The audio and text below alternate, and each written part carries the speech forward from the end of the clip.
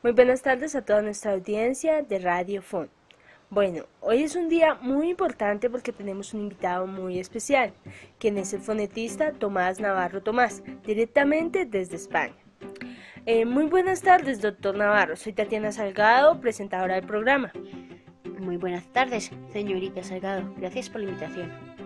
A usted por concedernos la entrevista. Eh, entraremos en materia. El público estaría encantado de conocer más acerca de su vida y de su labor académica.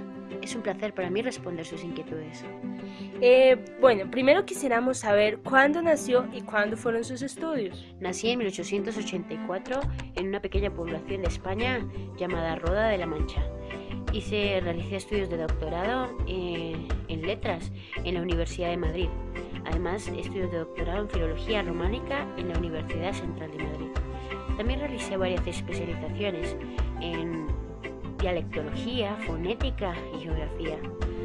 Eh, esto lo hice en varios países como Francia, Suecia y Alemania. Y déjeme decirle que soy un excelente ensayista.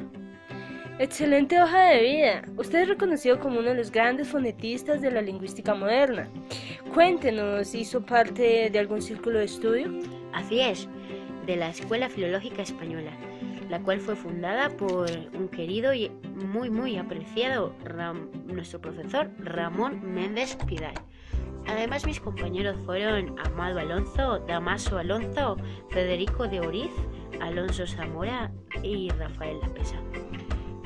Contamos con el gusto de que eh, nuestro profesor Ramón Menéndez Pidal fundara la revista de Filología Española, de la cual eh, pude presentar su primer fascículo y además fui luego el editor. Mm, dejaros contarles ciertas otras cosillas a propósito de la revista, es que la pueden encontrar en la web si deseáis. Una labor realmente valiosa. Eh, pues ahora quisiéramos saber cuáles han sido sus trabajos académicos. Eh, bien, Dirigí tareas relacionadas con el Atlas Lingüístico sobre España en 1932. Eh, también dirigí el Laboratorio de Fonética Experimental del Centro de Estudios Históricos. Eh, déjeme contarle que no a todo no ha sido color de rosa. En mi vida eh, fui exiliado y me dirigí a los Estados Unidos, donde residí en la ciudad de Nueva York. Tuve el privilegio de poder orientar en la Universidad de Columbia. Doctor Navarro, eh, su vida no ha sido fácil, pero usted ha tomado esos sobresaltos como oportunidades para seguir creciendo. Felicidades. Eh, ¿Le gustaría comentarnos acerca de sus trabajos escritos?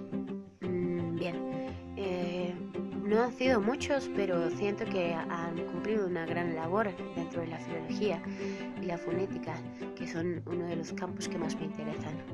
Eh, bien, estos han sido el Manual de Pronunciación Española, el Manual de Entonación Española, el Compendio de Ortología Española, Estudios de Fonología Española, el Español en Puerto Rico, Guía de Pronunciación Española y, finalmente, Métrica Española.